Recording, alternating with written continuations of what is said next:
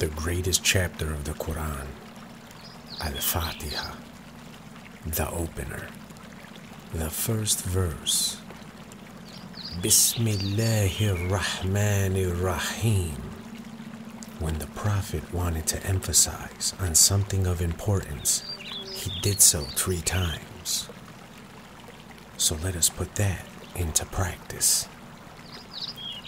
The first layer of the Bismillah Rahman Rahim we make into three parts.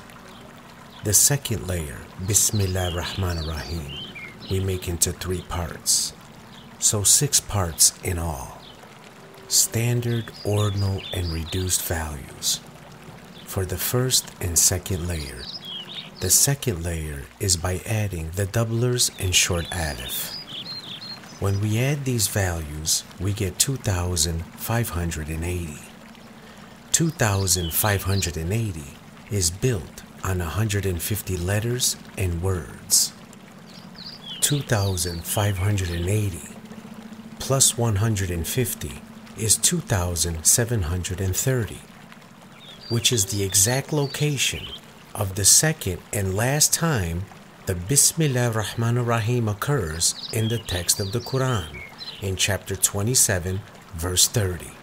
It just so happens that the numerical code 150 is the same as the numerical code for the name Muhammad.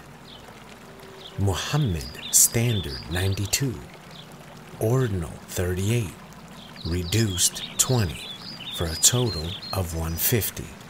150 letters and words revealed to the unlettered prophet.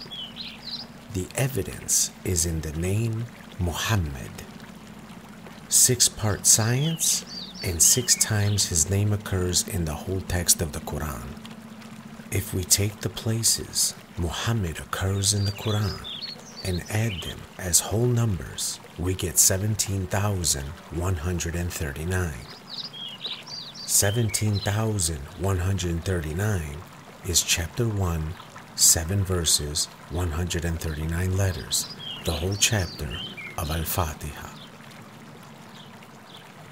If we add 1 plus 7 plus 139, it gives us 147. That is, chapter 1 connected to chapter 47, Muhammad. 1 times 47 equals 47, chapter Muhammad. 14 times 7 equals 98, chapter The Evidence. The evidence is in the name Muhammad. The trilateral root Hamd, HMD, occurs 63 times in the text of the Quran, plus the six times the name Muhammad is mentioned for a total of 69.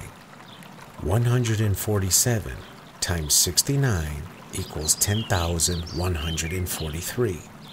And 10,143 is the standard numerical value for the whole chapter of Al Fatiha, the opener.